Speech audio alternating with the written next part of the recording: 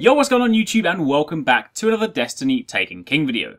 Now if you saw Bungie's live stream yesterday and you stuck around to the very end, kind of like you do in a Marvel film when you want to see what's after the credits, then you would have seen a very special raid teaser. But in case you missed it, then the raid is going to drop on September the 18th. That is three days after the launch of the Taken King. So if you want to hit it day one, then you better level up pretty damn fast.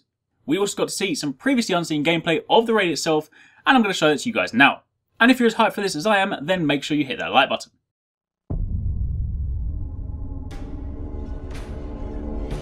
Facing Oryx was never the end.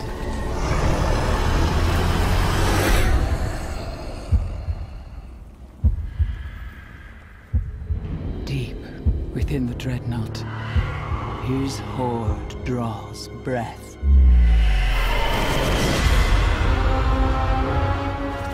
Cannot face this alone. Six of you must rise and stand together as the king falls.